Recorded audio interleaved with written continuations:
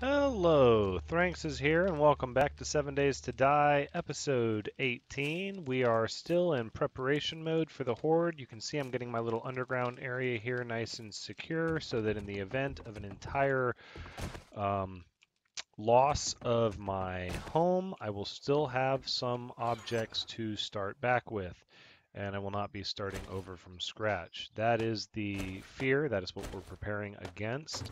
Um, ideally, that won't happen. Ideally, we'll hold the horde off just fine with the sea of spikes that I'm going to deploy uh, prior to the horde. But you know, just in case, we need to uh, we need to be sure. So actually, what I'm going to do with this extra pickaxe is repair the one that I. Oh, it doesn't. It barely repairs it at all. So I wonder if. Uh, Oh, the other one just disappeared. Oh, wow. Well, if I would have known that, goodness. I would not have done that. Oh, well. you live and you learn, I suppose. Um, let's get some more of our items migrated downstairs. Now, we have a very small space to work in. So we need to be efficient. Uh, what, what I would like to do, actually... So I'd like to start making cement. That is what I would like to do. So we're going to, wrong box, we're going to take our wrenches, and uh, we don't need that workbench yet. You are going to stay busy. You, I need to eat. So let's see. We're going to keep our water in there. We're going to make some eggs, bacon, and eggs. Oh, we need wood. Of course we do. Wow, we're limited on wood. We're going to have to go get some more. We've used it all for making these spikes. Okay, bacon and eggs. Yeah, we're going to make five of you. Not the best use of our eggs and meat, but the loss of our garden. It's it is what it is. It can't really be helped. Uh, we can drink some red tea, get our hydration up. Put our empty jars here. At some point, you know what I'd like to do, actually, is make a couple buckets. That's a personal item, though, isn't it? Bucket it is. And it uses forged iron. Great, we'll make two of those. Yep. That'll work. We'll put the forged iron back in here. Actually, we'll keep a couple on us. And I think what I'm going to do is I'm going to, well, no, let's, we're going to run with this crossbow for a bit longer. All right, bacon and eggs are done. Breakfast is served. Let's get some of that in our tummies, get our wellness up get our fullness up. There we go. Getting back up to 98. We need to recover from the loss we suffered at the pack of zombie dogs that I should have known uh, was going to was going to get me. As soon as I saw the first one, I should have known the next one was coming. Hey, we're back up to 100. The wellness we started with. Yay for that. That is good. We're not going to set up anything else other than what we have here now. Eventually this corner will get cleared out as I move the ladder over. But that is not the case yet, and I'm not going to sweat it. Not at this time. It is not super important. So we're going to get this bucket out of our inventory, and we're going to store some of these rocks here. And actually, while we're waiting, I'm going to transfer some more materials downstairs. Um, all of the things that are really important to me. Flashlights, shopping basket, lead, coal, rotting flesh, leather, cloth, dirt, nitrate, all of this stuff. A actually, it's all very important, um, but especially the stone. Okay. Oh, wait a second. More spikes. Those can get added there. Okay. And I'm not going to lay the spikes out yet. I've kind of got a little bit of hope that... Um, I've got a little bit of hope that soon I will be able to give myself another entrance to my home that is not uh, precariously stacking wooden frames like some kind of ramshackle scaffolding because that takes time and then I have to tear them back down and it it just it lends itself to mistakes and also it allows me uh, it, it actually doesn't allow me the opportunity to um, enter enter the house quickly. And I I kind of need that ability. Okay so we're also going to need wood. And uh, we're gonna need we're gonna need to make repairs probably while we're out. So we're gonna keep a few more forged iron on hand. And we have no bandages I wonder if I have any aloe. I'd like to make some medicated bandages is what I would like. We have some painkillers. We don't have any aloe. We have plenty of cotton. Could start running with a pistol, but I don't I don't think that's going to benefit me yet. Wow, we have a lot of crossbow bolts and more feathers, so that's that's good. That's very good. BDU bottoms. What am I wearing for bottoms? Hold the phone. Why am I not wearing BDU bottoms? Oh, because the overalls give way more protection for some reason. That's interesting.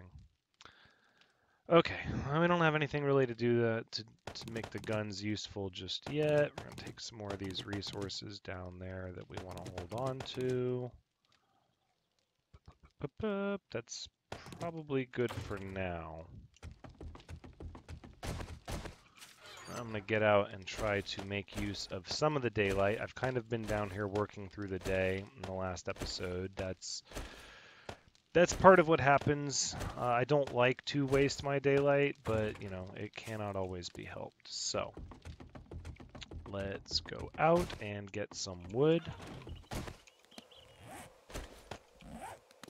Okay, we're going to run and jump and just exit this way. And we're going to go cut down some of these large trees. Also, I'm going to try to take apart some cars on the road, try to get an engine so that we can make our cement mixer. That's really what I would like to do is start making concrete. Uh, I generally try to have my cement mixer before now, but again, I'm still a little new at uh, playing this Alpha 15. I mean, I've played it a bit. I wouldn't say I'm completely new to it, but I find that it's more difficult to get the cement mixer now than it used to be. It used to be very easy to get the cement mixer early on, and now it's actually a little trickier. Ooh, ooh, I hear somebody. Oh, it's a rabbit. No, you're fine. I'm going to leave the rabbit alone. I don't feel like carrying the meat on me at this point. I don't need to attract any unwanted attention. We got some springs. We got there a radiator, some electrical parts, oil. Good things, but not what we're looking for. Alright. That's run its course. Let's go check on our garden. At this point, I think I'm just going to harvest whatever's here. Yep, pick up the corn. And then the aloe. Uh, yeah, and the mushrooms. And we'll have to relocate all of this nonsense. Um, so let's take these with me as well. Oh, I didn't want to load up my inventory. Also, we're going to take some cotton so we can make some bandages. I'm kind of running around right now without a bandage, and I don't like to do that at all for any reason. Oh, and it's late, so we're not going to get an engine today. I was kind of hoping to get an engine from that vehicle there. To get an engine, um, you really just need a vehicle that is um, the, a vehicle that is damaged, it doesn't have to be in pristine shape. In fact, I, I don't think you can get bandages, or I'm focused on what I'm doing. Uh, I don't think you can get engines from pristine vehicles. I think that you get other items from the pristine vehicles and that you actually have to wait. I, I mean, I think it's you can get it from any stage as a rare chance, but I think your best chance of getting an engine is from a vehicle that is uh, damaged. So if it's not damaged, if it is in pristine condition, you can always just tear it down with the wrench, get whatever goodies uh, come from a pristine vehicle, and then as it as it uh, progresses to the damage stage, then you can get your engine from it at that point in time.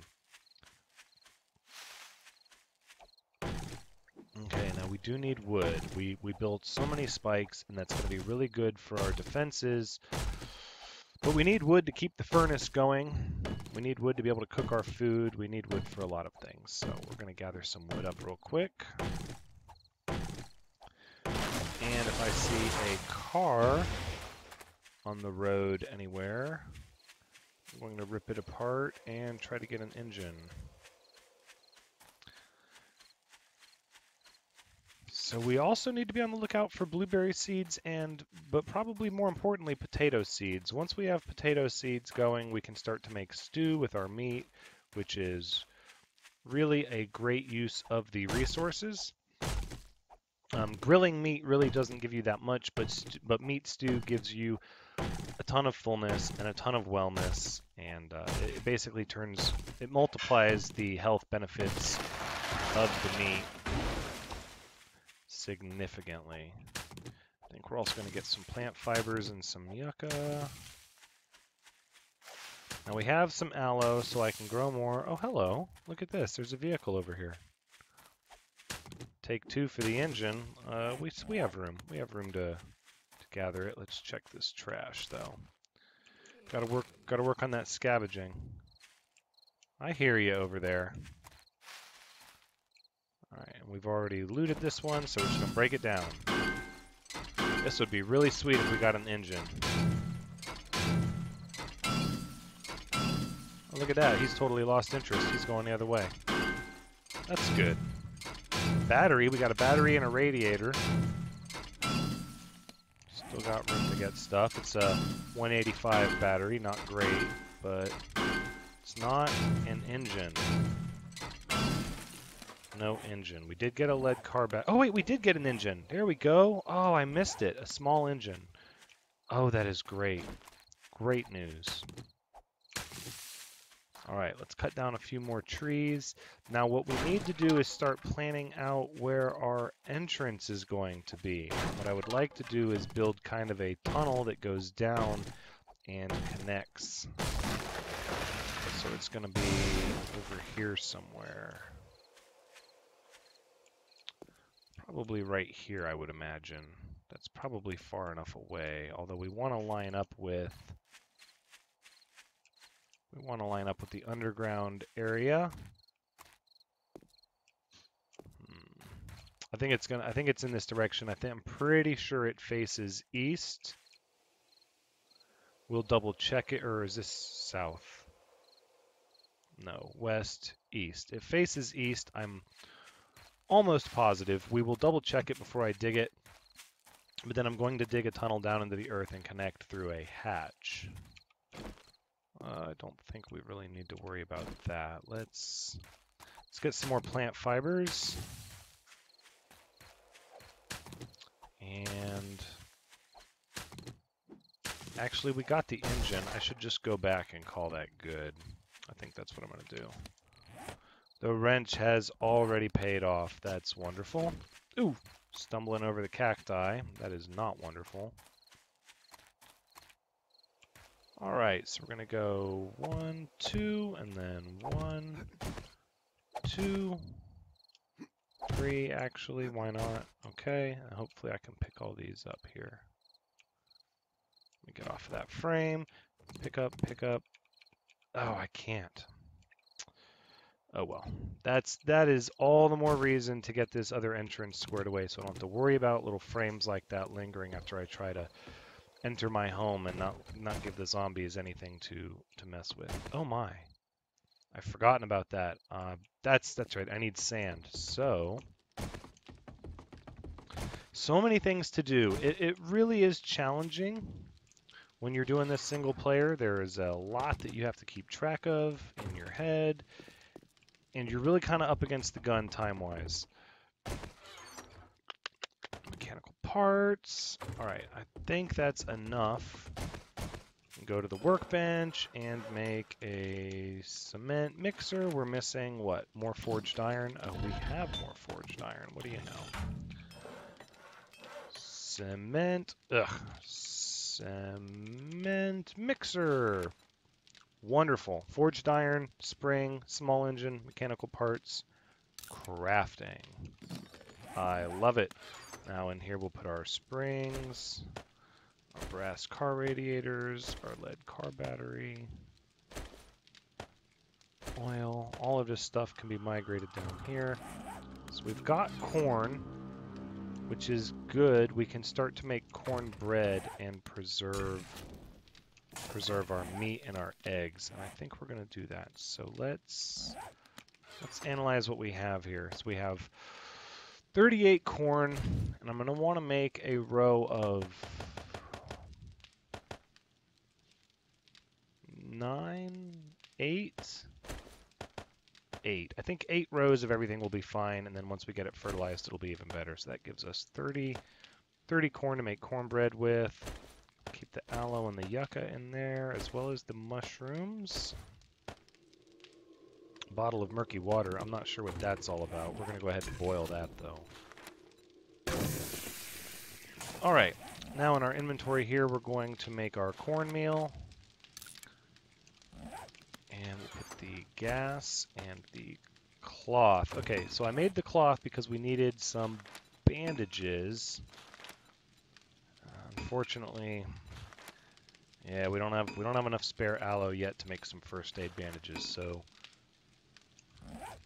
we could we could hold on to some first aid kits. It's the benefit of finding those care packages. We do have oh, we have three left. I'm such a hoarder when it comes to this kind of stuff, but I think that's gonna be kept on my bag there. Other than that, we'll bring down this. You, you, you. Yep. All of this little stuff here. And there, and there, and there. Okay. Now, after we get this stuff stored where I want it to go, which is there, oilcloth, moldy bread, yep, glue. Grain alcohol goes in the other container, cotton, electrical components, antibiotics. It's not the cleanest. Uh, this stuff isn't really organized to my standards yet, but at this point we're still just we're a little behind the gun, um, or we're behind the power curve rather is probably a better way to say that. I really was hoping to have a functioning garden. I invested that time early on, thinking it would pay off, and it did not. So and I've heard I've heard that zombies can wreck gardens, and that's why you should put them further away. And I really felt like I had put it far enough away, and I was wrong. So from now on, the garden is going to be elevated and in a controlled environment, so that I don't have to worry about that anymore. Now let's grab some water. I'm not worried about using this water because I have all this red tea to drink over there. Instead, let's make Cornbread. Now, cornbread, when you make it, like many other things that require a bottle of water, actually consumes the bottle. It's like you've cooked it inside the bottle and then you break the bottle to get it out. I can get on board with that. That makes a little bit of sense to me.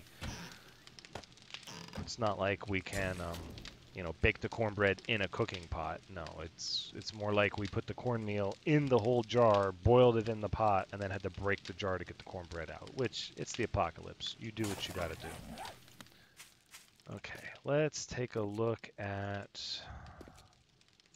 let's see, that's the ladder. So this is to the south, this is to the east here. Let's take a look at what's to the south. Let us see. So to the south is woods west, north, east.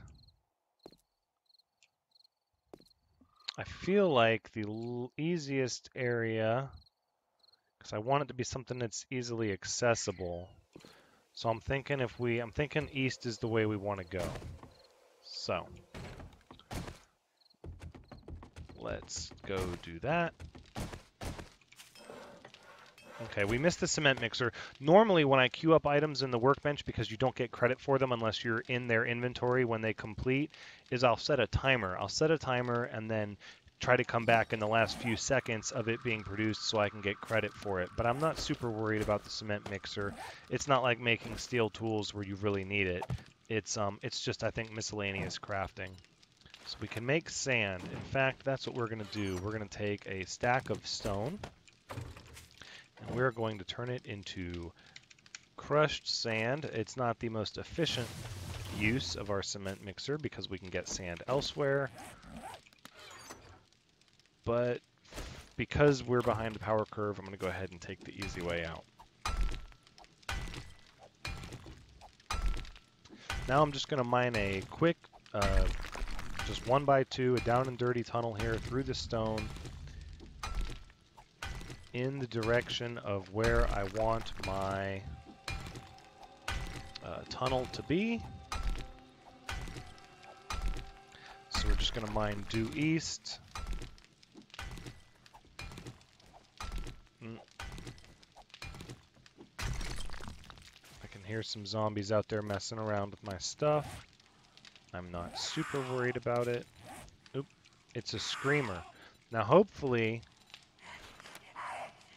the screamer will get killed on the spikes before she screams and calls in for a horde because I'm down here far enough to where she cannot detect my activity. She can't hear me mining. She can't see me. So I just need her to die on the spikes.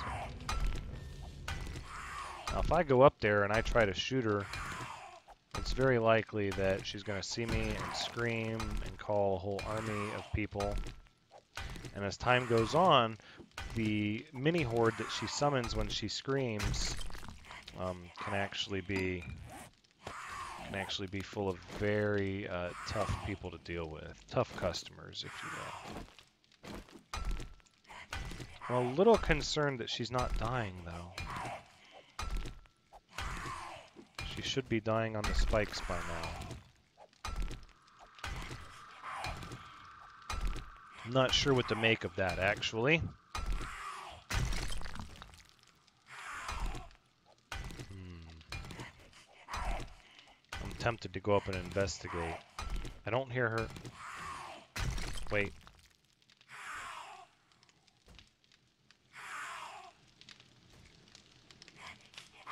Is she hitting on my house?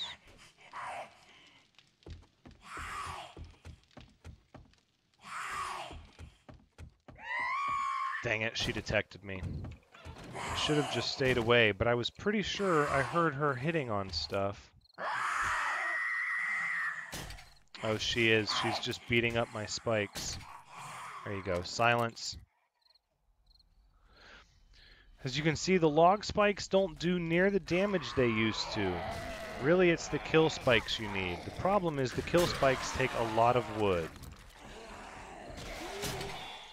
So it's not realistic um, to have them up at all times. But they will get the job done. They will kill them. Alright, come on, come on. Hold still.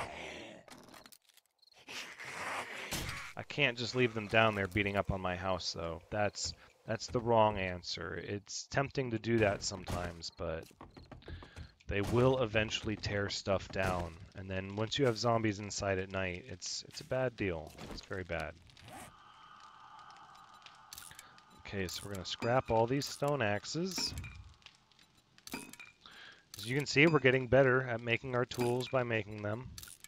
It's, uh, it's a necessity. Okay, let's see. Yep. Yep. Alright, so we'll scrap all these, and then uh, we need to repair this iron pickaxe, actually. So let's repair it. 208. It's going to be time to make a new one soon. I'm going to put this forged iron back. And we're going to make more. So we have 19, let's make 31. That'll work for now. cut you off soon. You can be turned off. No, you can't, actually. You got 45 more seconds on that cornbread, so we'll let that go.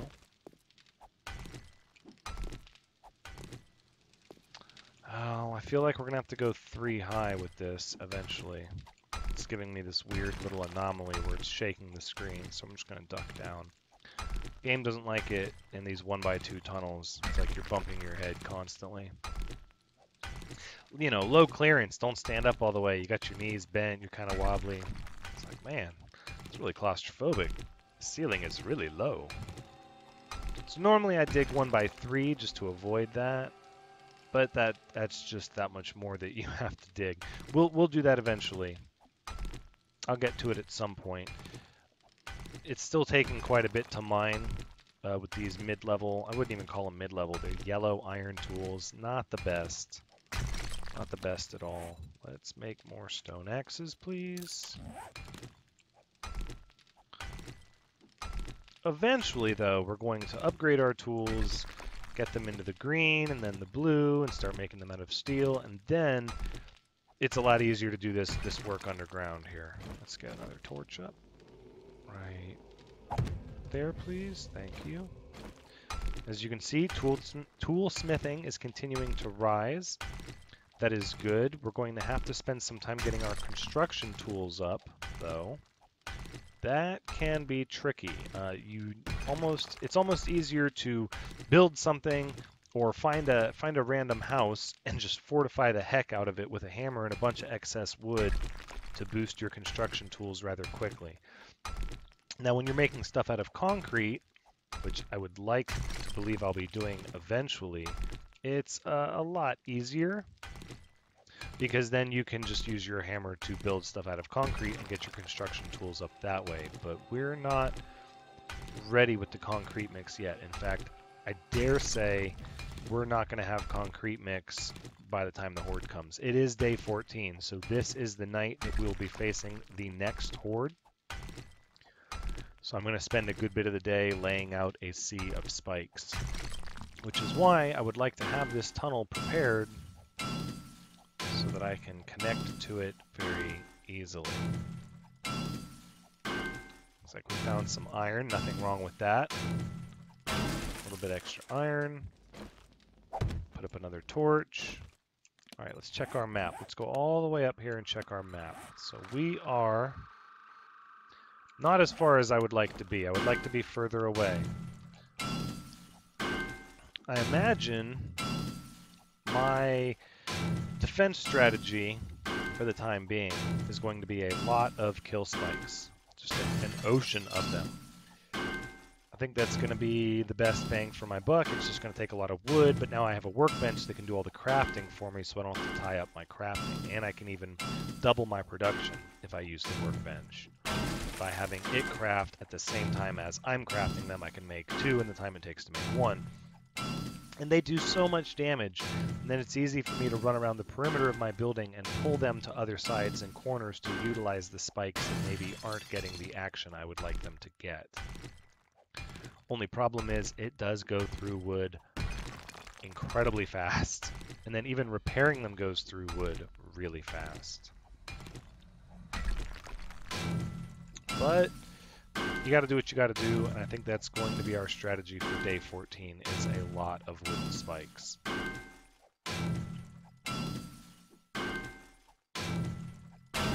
Okay, let's see where that leaves us. Now we're getting further away. I think I'm just going to keep mining straight ahead in this direction until it's daytime. Yep, more axes to get rid of. Need to pay attention to that. Always want to be crafting something. It, it seems silly, it seems arbitrary, but especially if you're playing on a difficulty harder than 3, you need to always be crafting something. It levels you up, it gives you more skills, it makes you craft things better, faster. It's just always where you want to be with that. Actually, First, let's make uh, let's make 15 more wooden frames, and then we'll do 20 stone axes. Wonderful.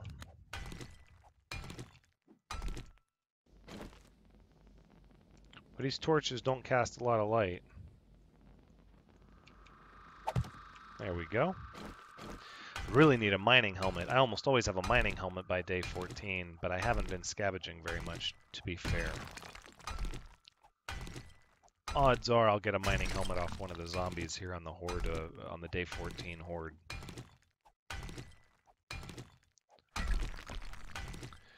So we're I'm looking at the time. I'm getting to the point where I would try to wrap up the episode. The the issue is if I wrap up the episode now, the next episode will be kind of short, and it will mean that the Horde won't be until episode 20. Although I guess that makes sense. The last Horde was episode 10.